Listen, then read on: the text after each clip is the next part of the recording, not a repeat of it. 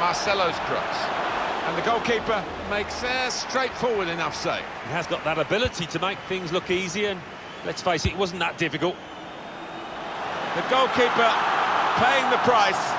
The goal unguarded, the goal conceded. That's the goalkeeper's lot, unfortunately. If he makes a mistake, the chances are it's going to be punished, and it has been, big time. A reminder, three